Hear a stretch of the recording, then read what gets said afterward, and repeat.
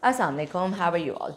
So today we're going to continue our talk on IELTS speaking and we're going to learn some skills and strategies to be to enable us to improve our speaking for the IELTS exam in the least amount of time possible. You see, when we're preparing for IELTS, we don't have that much time. Um, you know, your visa consultant is probably breathing down your neck for your documents, for your scores.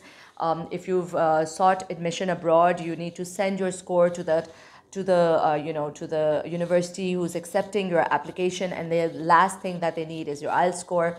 So we're really pressed for time. Now, for somebody to start uh, from scratch, from improving grammar, from improving you know structure of a sentence, um, it would take a lot of time it is possible. I mean, you could be paying attention to grammar, you could be paying attention to certain concepts that are, um, you know, that need brushing up on, but you need to do it all in the least amount of time possible, right? Because you want to sit for your exam and get your scores and be done with it. So there's this skill that I've developed over the years, and it's really helped my candidates uh, and my students a lot. Um, basically, we all have an ear for English. We can pick on mistakes. We are really good at it. Um, even if our English is not that good, we can very quickly pick on mistakes.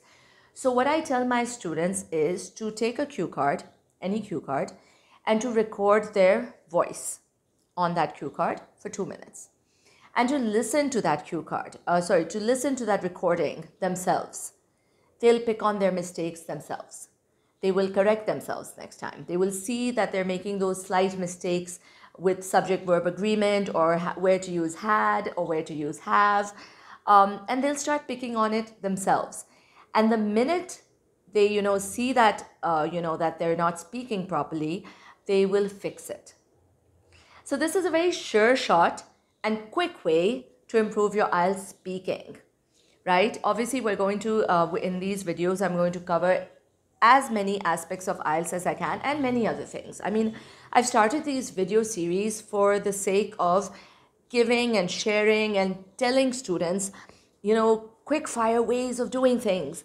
And I, I'm, I'm, I'm also a book lover and a movie lover. So along the way, I might be talking about that as well. So um, try this if you're planning to sit for your IELTS exam. Um, you can contact me for preparatory classes or you can just use these skills and strategies and improve on your IELTS yourself.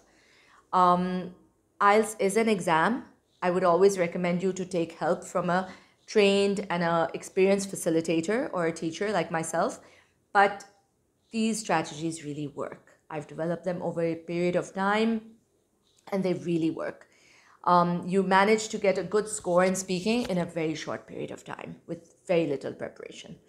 All right, so best of luck with your IELTS and best of luck with everything else that you're up to. Stay blessed, stay safe. Allah Hafiz.